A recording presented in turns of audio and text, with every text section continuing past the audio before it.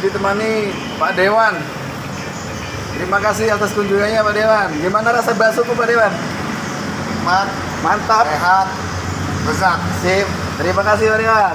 Selamat datang kembali. Mas Bawono, Pak Simang, jangan Siap, Pak